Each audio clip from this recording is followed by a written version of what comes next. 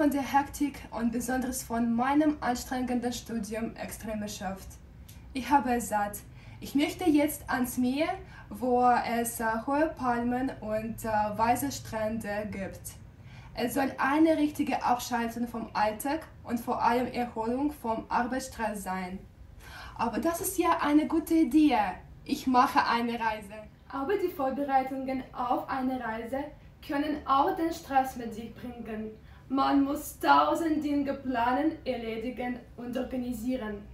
Was muss dafür gemacht werden?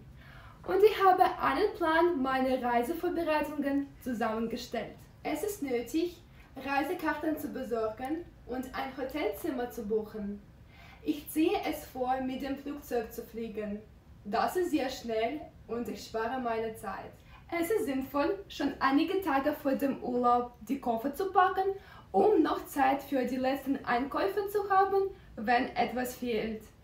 Aber das Kofferpacken ist keine leichte Sache. Vor dem Packen lege ich eine Checkliste an um alles Nötige mitzunehmen. Ich platziere schwere Sachen wie Schuhe, Toilettenbeutel und Bücher auf den Boden des Koffers. Auf die Jeans kommen die Blusen und Kleider.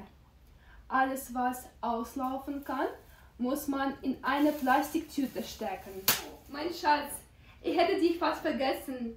Wenn man eine Reise mit einem Haustier macht, muss man auch bestimmten Regeln folgen. Um den Hund in das Flugzeug mitzunehmen, soll man einen Heimtierausweis und eine Veterinärbescheinigung haben. Wenn das Haustier klein ist, hat der Fluggast eine Möglichkeit, es in die Kabine mitzunehmen. Alles ist gemacht. Gott sei Dank bin ich schon fertig. Endlich bin ich bereit zu reisen. Warte, das ist eine tolle Idee, aber deine Reise ist jetzt nicht möglich. Die Grenzen sind gesperrt.